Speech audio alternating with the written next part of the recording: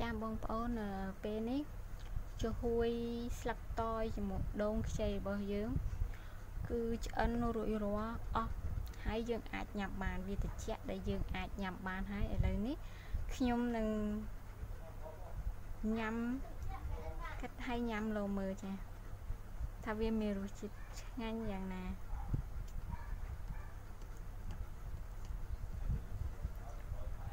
ចាចិត្តបែបនេះមកចា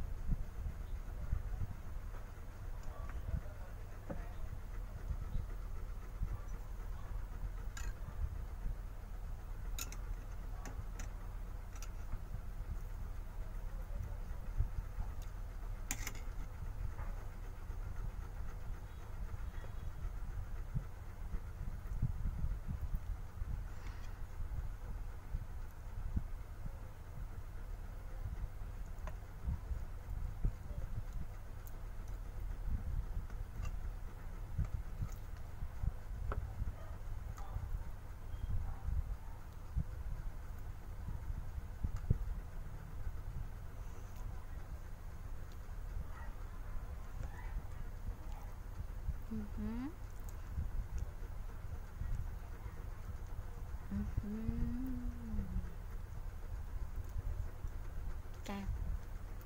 រួចរាល់ជាស្រេចចានេះជាចំហួយស្លឹកតយនិងដូងខ្ចីចាទូទៅឲ្យបងប្អូន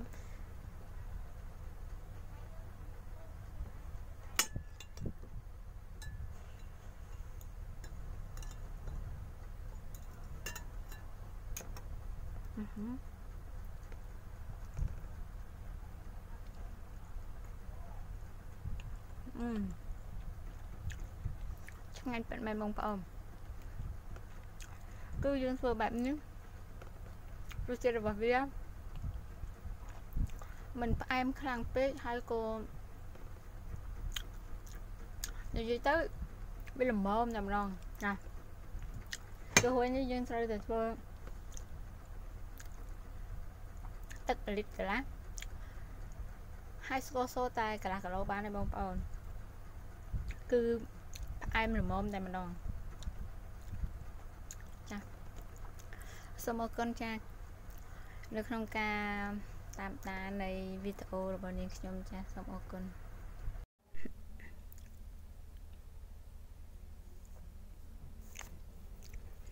ចាសួស្តីបងប្អូន ថ្ងៃនេះនាងខ្ញុំសូមធ្វើចំហួយដូងស្លឹកតយចាទឹកស្លឹកតយដូងខ្ចីស្ករសនិងខ្ទិះដូង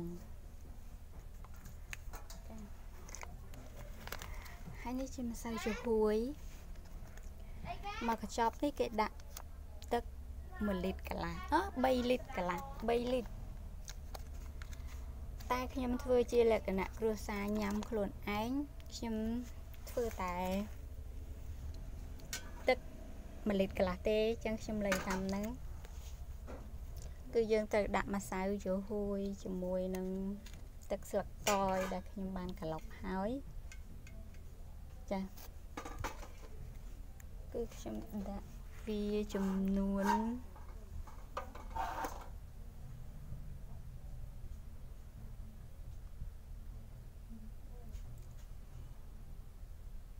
មួយស្លាបព្រា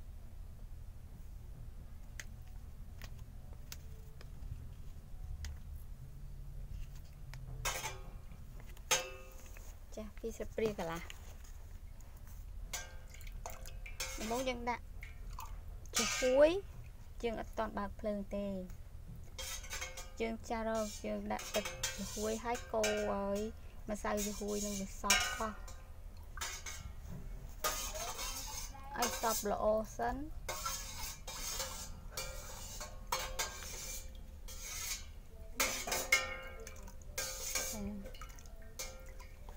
បន្ទាប់មកទើបយើងបើកភ្លើងចាប់ភ្លើងយើងត្រូវបើកល្មមមិនខ្លាំងពេកហើយក៏មិនតិចពេកចាយើងបើកប៉ុណ្ណឹងមកហើយកូមកូវាឲ្យជាប់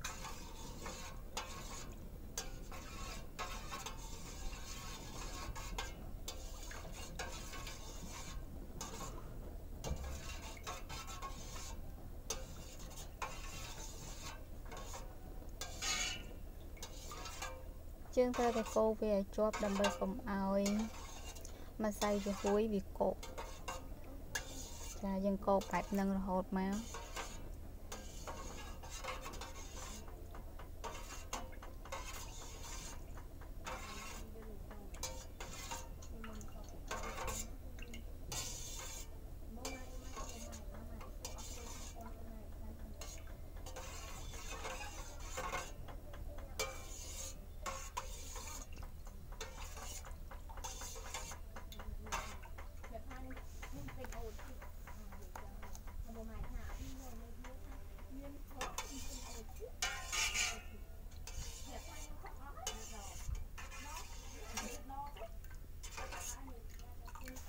បន្ទាប់មកយើងដាក់ស្ករសូចូលចាស្ករសូនេះធ្វើខ្ញុំប្រើអត់ដល់មួកកន្លះគីឡូទេចា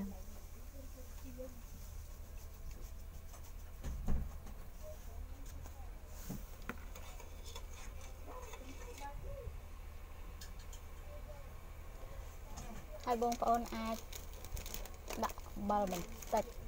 ដើម្បីឲ្យវាផ្អែមមុតចានេះជាអំបិល យើងដាក់វាបន្តិចទៅដើម្បីឲ្យវាមានរសជាតិផ្អែមមុតបន្តិចហើយយើងចាក់ផ្ដើមកូរវារហូតចេះក្នុងការធ្វើចំហួយនេះគឺយើងត្រូវតែកូរវាឲ្យជាប់ដើម្បីកុំឲ្យម្សៅចំហួយរបស់យើងវាកកដុំដុំ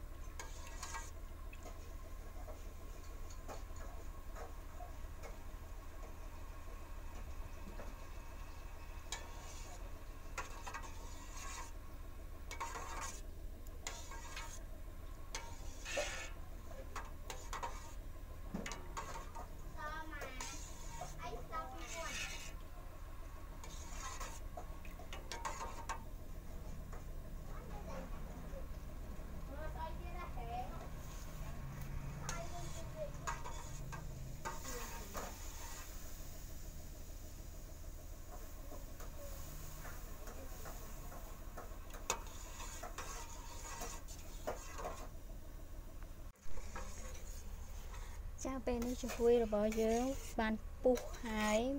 ហើយយើងកូរវារហូតកូរតតែមើលអឺស្ព្រីរបស់យើងដាក់ទៅបើវា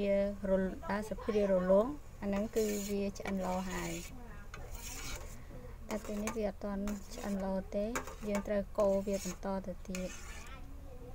ចា៎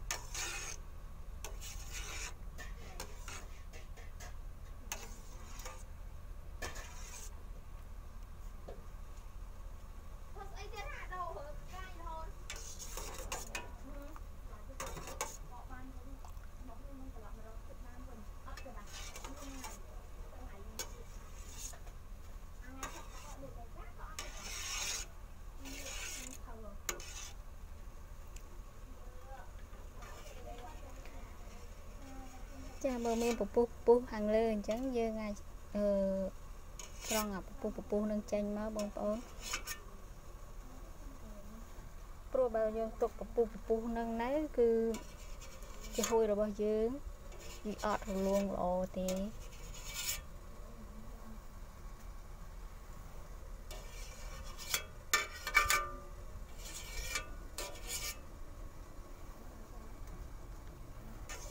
ហើយយើងកូរវាបន្តទៅទៀតកូររហូតតតែស្ព្រារបស់យើងវារយរៀងរលោងនៅចំហួយរបស់យើងឆ្អិនហើយតែពេលនេះវាមិនទាន់ឆ្អិនទេយើងត្រូវតែកូរវារហូត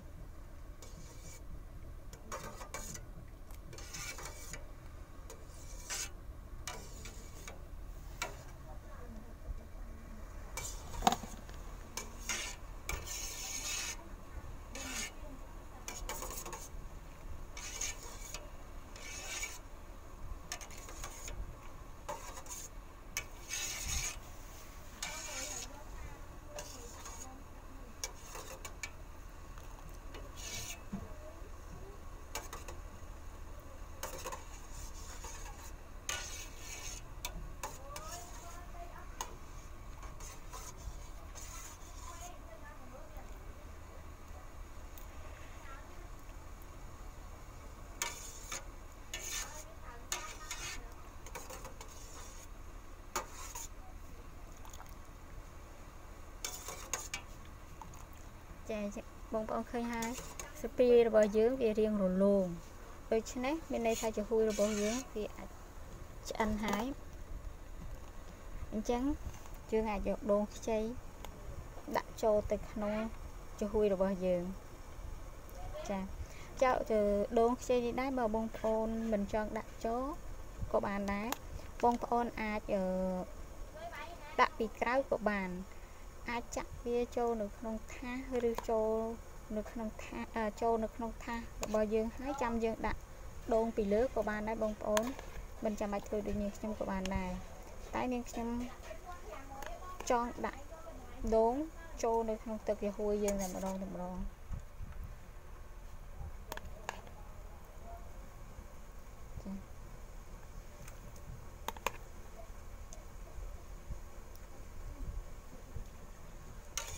ដាក់បែបនេះហើយយើងកូរវាបន្តិចទៀត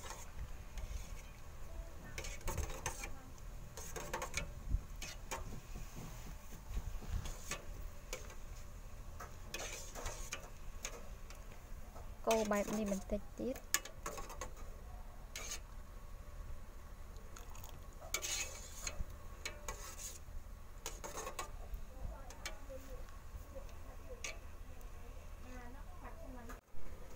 ចាបន្ទាប់ពីយើងដាក់ដូងចូលហើយយើងកូរវាមកសបកហើយឥឡូវជាហួយរបស់យើងបានឆ្អិនហើយចាដូច្នេះនាងខ្ញុំបិទភ្លើងចាហើយក៏លើកជាហួយរបស់យើងចាក់ចូលទៅក្នុងថាសបងប្អូនចា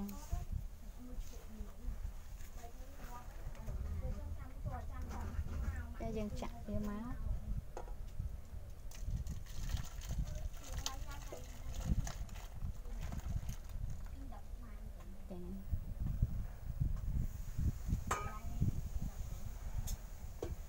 ទុកចាំឲ្យវាត្រជាក់បន្តិចបន្ទាប់មកយើងយកខ្ទិះដូងដែលយើងទុកហើយចាក់ចូលក្នុងឆ្នាំង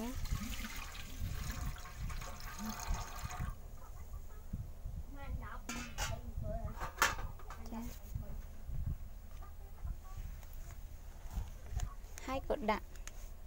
ម្សៅចំហួយ បន្តិចទៀតដើម្បីកោសខ្ទិះដូងរបស់យើងចាក់ទៅលើជ្រហួយស្លឹកតយរបស់យើងបងប្អូនចាយើងដាក់ទៅនឹងមកយើងកូរអាស្រ័យជ្រហួយយើងឲ្យសព្វសិនកូរម្សៅជ្រហួយឲ្យសព្វសិន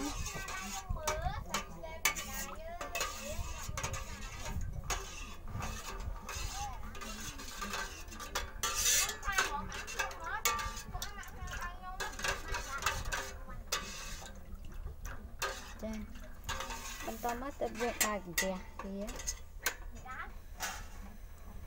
មុលល្មមដូចដែលយើងកោជុះហួយស្លឹកតយអញ្ចឹងទៅបន្ទាប់មកយើងកូរវារហូត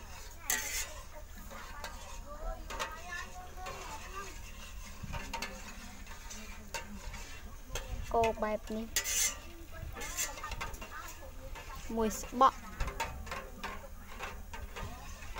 ចាយើងកូរបែបនេះមួយស្បក់មក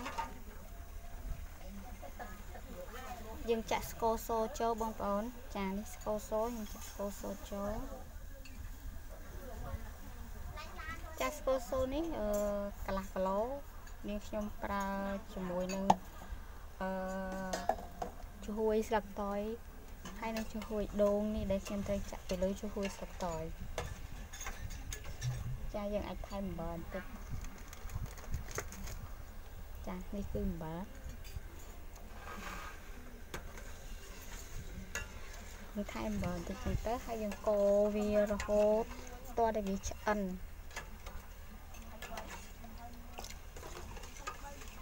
ចាយើងកូរបែបនេះតតែឆ្អិនល្អសិនណាបងប្អូន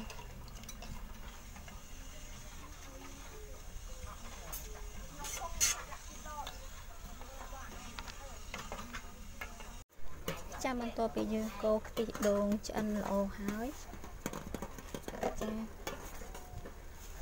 យើងដាក់ដូងខ្ចីចូលវិចូលនៅក្នុងខ្ទិះដូងយើងបន្តិចទៅចាហើយកូរវាមួយស្បកទៀតចាកូរបែបនេះមួយស្បក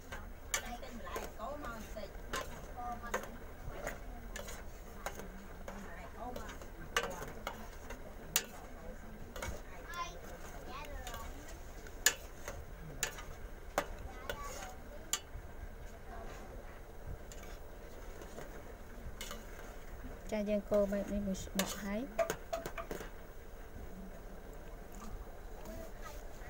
គឺរួចជាការស្រេចចាវាឆ្អិនហើយចុះរួចដូងរបស់យើងនេះឆ្អិនហើយចាបន្ទាប់មកយើងបិទភ្លើងចាបិទភ្លើងហើយយើងក៏លើកយកខ្ទិះដូងដែលយើងកូរហើយនឹងចាក់ទៅលើឈ្ហួយដូងរបស់យើងបងប្អូនចា នេះជាជ្រហួយដូងអឺនេះជាជ្រហួយស្រាប់តយធ្វើមិញហ្នឹងហើយខ្ញុំក៏លើកយកចាក់មកចាក់វាបន្តិចម្ដងបន្តិចម្ដងណាបងប្អូនព្រោះថាជ្រហួយរបស់យើងវាអត់ទាន់ស្ងួតចាវាអត់ទាន់ស្ងួតទេព្រោះវានៅក្តៅ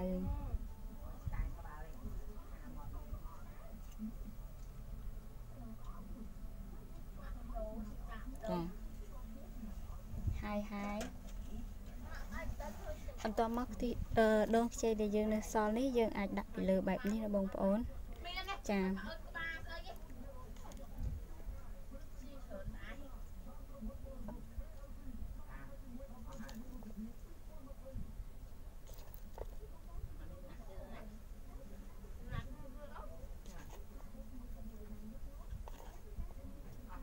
ចាដូងខ្ចីនេះបងប្អូនកុំកោសម៉ត់ពេកបើកោសម៉ត់ពេក